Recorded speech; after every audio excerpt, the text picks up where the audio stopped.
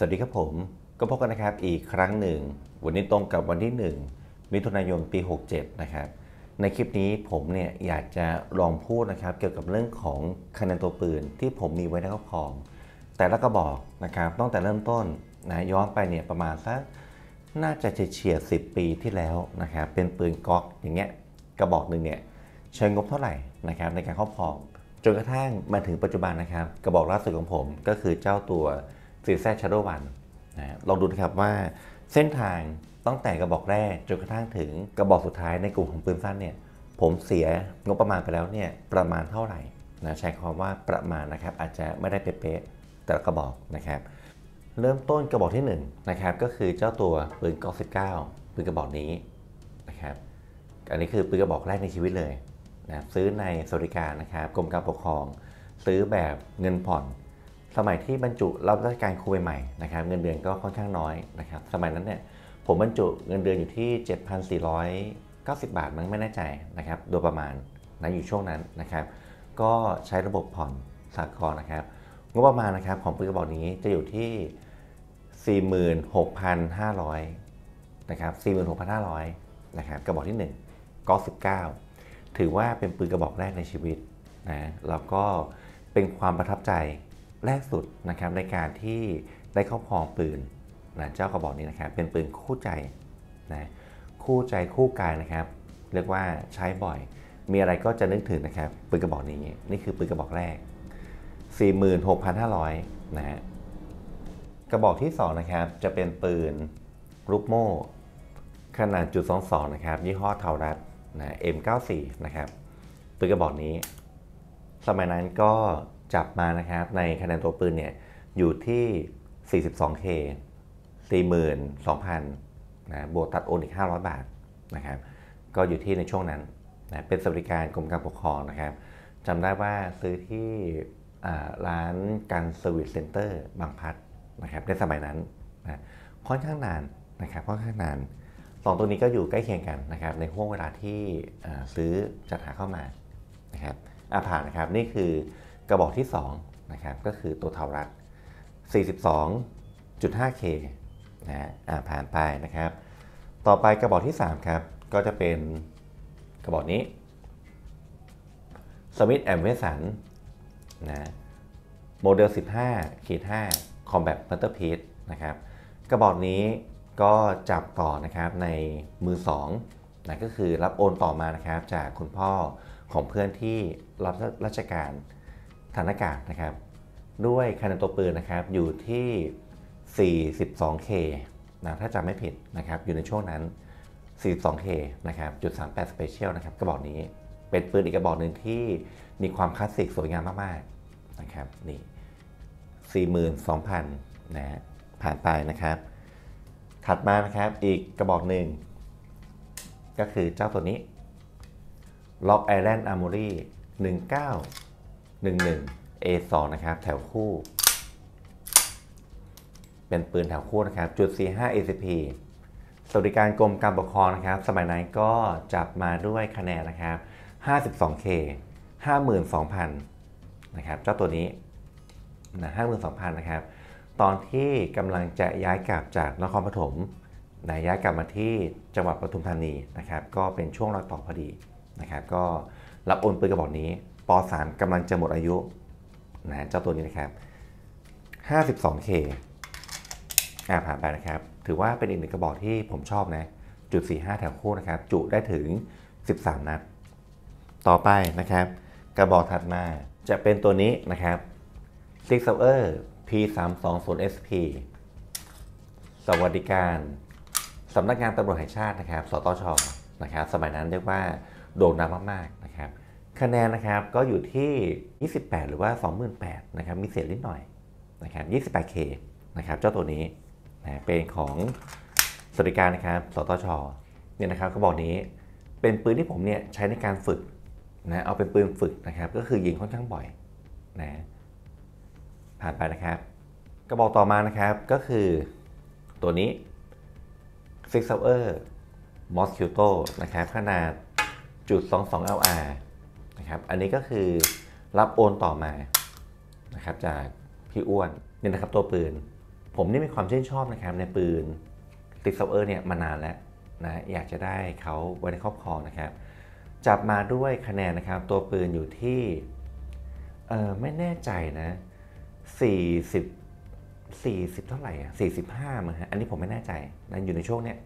40 กลางๆนะครับโดยประมาณนะ SIG Sauer Mosquito นะครับจุด22เป็นตัวปืนที่ทำคลิปบ่อยที่สุด เพราะว่าในการยิงเนี่ยโอ้โห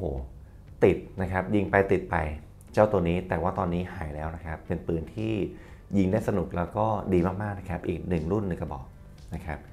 ประมาณ 45K นะครับ ประมาณนั้น กระบอกต่อมานะครับ นี่เลยก็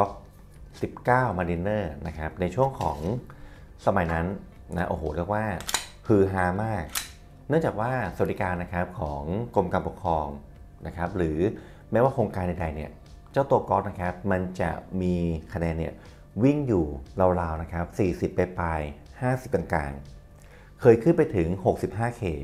สวัสดิการนะครับกอล์ฟ19นะในสมัยหนึ่งนะครับ แต่ว่าไอ้เจ้าตัว Mariner เนี่ยโอ้โหเรียกว่าลงมาอยู่ที่ 36K นะครับถือว่าประหยัดมากๆในยุคสมัยนั้นนะครับเข้าคิว นะต่อคิวรอคอยเลยนะครับ ผมก็เป็นหนึ่งนั้นที่มีโอกาสนะครับได้จับ 36K โดยประมาณนะครับก็19 Mariner นี่ผ่านไปนะครับ กระบอกต่อมานะครับก็คือลูกโม่สมิธอเมสันนะครับตัวนี้ 686ขีด3นะจากนายตำรวจนะครับท่านหนึ่งนะครับท่านก็ให้ความนุเคราะห์นะครับ เรียกว่า สมมอบต่อให้นะครับด้วยคะแนนเนี่ยคุ้นๆว่าอยู่ที่ 50 52นะฮะ 52K นะครับ เจ้าตัวนี้นะอยู่ในช่วงนั้นนะครับ ก็ยังคงรักษาว่าอย่างดีนะครับ จุดที่มีความประทับใจนะครับ กับปืนกระบอกนี้ 1 ก็คือรูปลักษณ์ที่สวยงาม 2 ก็คือเจ้าของปืนนะครับ ท่านเนี่ยให้เกียรติผมมากๆ ท่านบอกว่าก็ไม่อยากจะส่งต่อกระบอกนี้ให้กับใคร อยากให้ผมเนี่ย จับจองครอบครองไว้ เพราะว่ายังได้เห็นยังได้ออกคลิปบ่อยๆนะครับ จากวันนั้นจนถึงวันนี้ก็ยังคงนะครับเหมือนเดิมในตัวปืนนะครับนะครับ เช่นนั้นนะก็ต้องขอกราบขอบพระคุณนะครับ ท่านเจ้าของปืนที่ให้เกียรติผมมากๆเลยนะครับ ยังคงอยู่เหมือนเดิมนะครับ 52K นะกระบอกนี้นะครับ 357แมกนัมอ่าผ่านไป ต่อมานะครับ กระบอกนี้ เจ้าตัวเทารัสนะครับไทเกอร์ 992 นะครับ เปลี่ยนโม่ได้ 22แมกนัมกับ LR นะครับกระบอกนี้เป็นโปรเจกต์นะครับระหว่างร้านปืนนะครับกับผมก็คือคุณประเวศเนี่ยก็ติดต่อเข้ามานะครับบอกว่าอยากจะมีโปรเจกต์เกี่ยวกับเรื่องของการลงลายเซ็นนะครับบนตัวปืนนะกระบอกนี้นะครับอยู่ที่ 61K นะผมจำได้นะครับ 61K ก็คือ 61,000 นะในสมัยนั้นนะครับ61,000 บาทนะครับเจ้าตัวแท็กเกอร์ก็ก็สองนะครับตัวนี้ถือว่าเป็นตัวที่ผมเนี่ยประทับใจที่สุดนะเพราะว่ามันคือปืนที่ลงลายมือชื่อนะครับหรือว่าลายเซ็นผม แล้วก็มีเพื่อนสมาชิกเนี่ยให้เกียรตินะครับอีก 8 ท่านนะก็มีตัวปืนนะครับแบบนี้เอาไว้ในครอบครองนะอ่าผ่านไปครับ 61K ต่อมานะครับก็คือเจ้าตัวก๊อก44 นะครับกระบอกนี้นะ เป็นตัวที่ผมเนี่ยชื่นชอบมากนะครับตั้งแต่ทดสอบนะครับจากร้านปืนกิษณะคุณโอเทนะครับ ท่านก็ให้ความรู้เคราะห์นำตัวปืนเนี่ยมีทดสอบกันนะจนกระทั่งถูกป้ายยาเองนะทดสอบเองนะครับโดนป้ายยาเองนะเจ้าตัวนี้นะครับสวัสดิการกรมการปกครองเนี่ยจะอยู่ที่ 45นะฮะผมไม่แน่ใจนะครับอยู่ในช่วงนั้น 45K 45,000 อาจจะสูงกว่านั้นนิดนึงนะครับ ต้องขออภัยนะผมไม่มั่นใจนะครับในเรื่องของคะแนนชัดๆนะตัวนี้นะครับ 45K นะถ้าเผื่อว่าเป็นภาคประชาชนเนี่ยก็ไม่หนีกับปืนก19 รุ่นพี่เลยนะครับ จะอยู่ที่ประมาณ 80 ต้นๆนนะครับโดยประมาณกอก44 ชอบตรงที่ว่าน้ำหนักเนี่ยเบา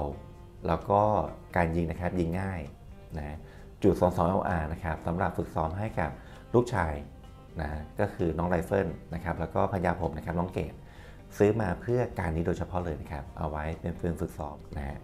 ผ่านไปนะครับ 45K โดยประมาณนะครับก็44 กระบอกต่อมานะครับ ก็คือเจ้าปืนกระบอกนี้หักดำไทยประดิษฐ์ทะเบียนนำจดปี 2518 นะครับนี่เลยนะครับ ผมชอบนะในความเป็นไทยนะครับ ทดสอบเนี่ยมาเยอะมาก จนกระทั่งติดต่อกับพี่กุ้งนะครับ นะพี่กุ้งท่านก็ให้ความรู้คอนะครับ บอกว่าโอเค เดี๋ยวจะลองดูให้ ก็มีโอกาสนะครับได้สัมผัสนะตัวจริงนะครับพี่กุ้งก็เอามาให้ดูก่อน ผมก็ตัดสินใจนะครับว่าโอเค ผมชอบนะผมชอบนะครับ ก็ยื่นเรื่องของเอกสารนะครับต่างๆเนี่ยให้กับพี่กุ้งนะครับ ช่วยดำเนินการอนุเคราะห์นะครับ เรื่องของการตัดโอนให้นะครับตัวนี้นะคะแนนนะครับผมจับมาเนี่ยอยู่ที่ 20K นะกระบอกนี้นะครับ 20K หักรำเทปประดิษฐ์นะครับ 2518 นี่กระบอกต่อมานะครับก็คือเจ้าตัวนี้นะครับโคมาร์คโฟซีรีส์70 นะครับจุด45 ACP สวัสดิการกรมการปกครองนะครับ เจ้าตัวนี้นะครั้งหนึ่งในชีวิต อยากจะมีนะครับ ม้าหักหอกเอาไว้ในครอบครองนะก็จับมานะครับด้วยคะแนนเนี่ยอยู่ที่ 70K นะสมัยนั้นนะครับ 70K ก็คือ 70,000 บาท สวัสดิการกรมการปกครองนะครับนี่ถือว่าเป็นตัวปืนที่ผมเนี่ยชอบมากนะครับ สวยนะยิงก็น้อยนะครับ แทบจะไม่ได้ออกไปยิงเลยนะครับ ดูเพื่อความชอบแล้วก็สวยอย่างเดียวนะครับ จุด 45 นะครับโคอ่าผ่านไปนะครับกระบอกนี้ แล้วก็กระบอกสุดท้ายนะครับ ก็คือตัว c z Shadow 1นะเจ้าตัวนี้นะครับ ผมทดสอบปืน c z เนี่ยมาเยอะนะครับหลายรุ่นหลายกระบอก แล้วก็ก่อนที่จะตัดสินใจเลือกเนี่ยผมก็ลองถามในกลุ่มนะครับผู้ที่ชื่นชอบในกีฬาวุธปืน ว่าจะจับตัวไหนดีระหว่าง Shadow 1 กับ Shadow 2นะทุกคนนะครับเรียกว่าทุกคนเลย ก็จะบอกว่าไปที่ Shadow 2นอกจากคุณปั่นช่องการเบานะครับ คุณปั่นบอกว่าเอาที่ผมเนี่ยชอบ นะเพราะว่ามันคือมันคือสิ่งที่ผมเลือกนะเลือกไปแล้วนะครับ ซึ่งก็ต้องขอขอบคุณนะครับ คุณปั่นช่องการเบานะครับคือตรงใจผมมากนะผมตั้งใจไว้อยู่แล้วตั้งแต่ทดสอบนะครับปืนของคุณปั่นนะตัว CZ 75P01 นะครับกระบอกนั้นนะจนกระทั่งมีโอกาสนะครับได้ครอบครองปืนกระบอกนี้ คะแนนนะครับของเขาเนี่ยผมจับมาในสวัสดิการนะครับของสำนักงานตำรวจแห่งชาติในสมัยนั้นนะครับอยู่ที่ 49K นะครับเจ้าตัวนี้นะครับ 49K นะก็จดลงไปนะครับสำหรับการอบอกเรื่องของคะแนนนะครับว่าใช้งบประมาณเท่าไหร่นะครับ เหตุผลนะครับที่ออกมาทำคลิปประมาณนี้นะครับหนึ่งก็คือเพื่อเตือนสติผมเอง ผมเนี่ยมีแนวคิดอยากจะได้ปืนยาวไรเฟิลนะครับขนาดจุด308 อีกหนึ่งกระบอก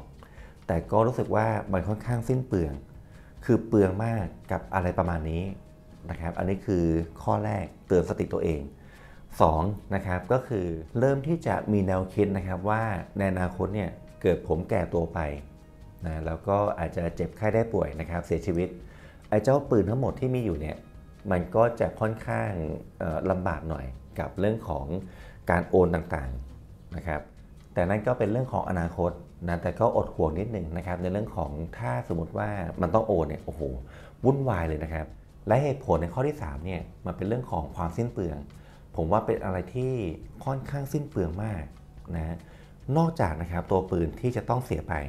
ในเรื่องของอการซื้อเข้ามานะครับ ยังมีเรื่องของค่ากระสุน ค่ากระสุนปืนเนี่ยก็ไม่ใช่น้อยนะครับ แล้วก็เรื่องของอุปกรณ์ตกแต่งตัวปืนนะครับ นู่นนี่นั่นค่าเป้าค่าสนาม คือมันเยอะแยะไปหมดนะครับ ถ้าเผื่อว่าคิดค่าใช้จ่ายนะครับที่ไม่ใช่เรื่องของตัวปืนเนี่ย ผมคาดเดาว่าน่าจะมีเฉียดนะหลักเนี่ยหลายแสน ซึ่งก็ถือว่าเป็นตัวเงินที่มากประมาณหนึ่งทีเดียวนะครับมากจริงๆนะสามเหตุผลหลักนะครับที่ทำนะเพื่อเอามาเตือนสตินะครับแล้วก็คิดทบทวนนะครับว่ามันควรที่จะลุยนะครับเดินหน้าต่อหรือพอไว้แค่นี้นะก็คือเป็นการเตือนสติตัวเองนั่นเองนะครับแล้วก็ลองนะครับเป็นข้อมูลประกอบให้กับเพื่อนสมาชิก ที่อาจจะมีแนวทางคล้ายๆกับผม กำลังเป็นอยู่นะโรคที่เป็นก็คือโรคปืนดูดปืนนะครับไม่หยุดสักทีนะก็ถือว่าเป็นคลิปนะครับผ่อนคลายแล้วก็เอามาพูดคุยกันนะครับในวันนี้ ในวันนี้ก็ต้องขอขอบพระคุณเพื่อนสมาชิกเป็นอย่างสูงที่ติดตามรับชมกันนะครับ สวัสดีครับ